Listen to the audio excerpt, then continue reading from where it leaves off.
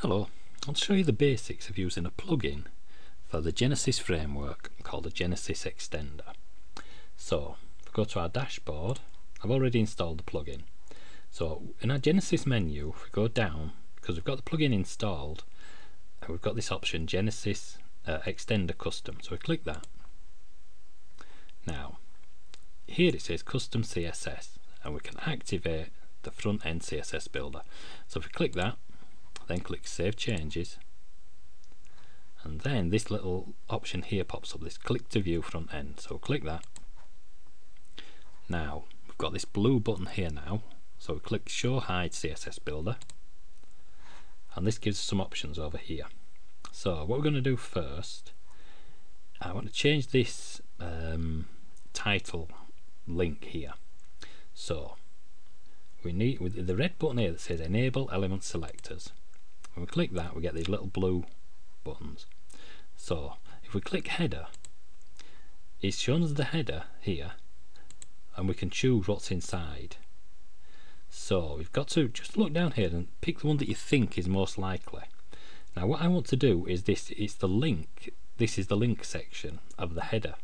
So if I go to uh, site title link so it's changed colour. When it goes that green colour that's the bit that you will edit if you use this uh, this select here.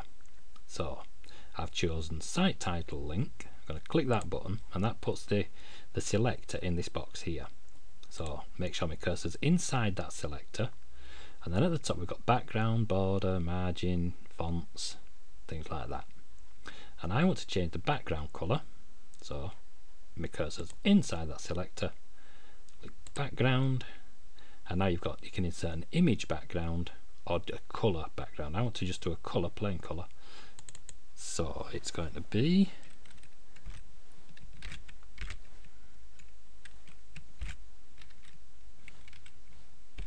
that colour. So click insert background colour CSS and that's done that for us. Now I want to do the hover state as well.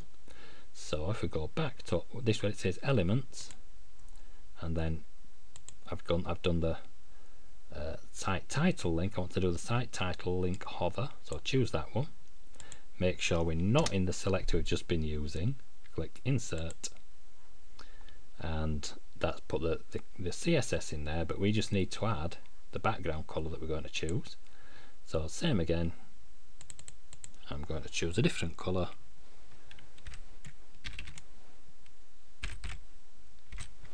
go. And click insert background colour then it's inserted it us there.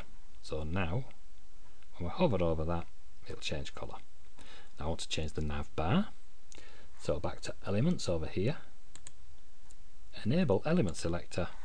Where it says nav bar there see here? If you click that one that's all all the stuff inside the uh, the whole style sheet. And this is just it says there site title link hovered. If you watch when we click nav it's changed to the elements in the nav area now. And I want to choose uh, just that nav nav which is the that's sort of the nav bar there. So make sure that we're not inside the, the things we've been using. We're outside these elements here.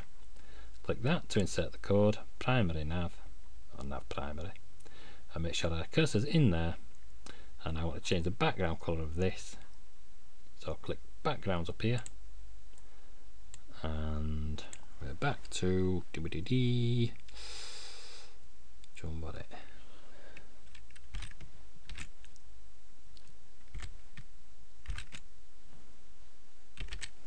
colour we want. So I'll click insert that background colour, it's going to insert it here because our cursor's in there. So now the nav bar's changed colour. Now I want to change these hover colours. So elements, element selector, nav. And inside the nav selector here, we need uh, it's nav page link hover. So let's have a look. There we go, nav page link hover. So if you hover ho over it, that little green type colour tells you that that's the area we're going to edit. So in this box again, and we want to click that to insert the selector? Now inside the selector we've got to put the actual um, element which is this background what we're going to change. Click there. Decide what colour we're using.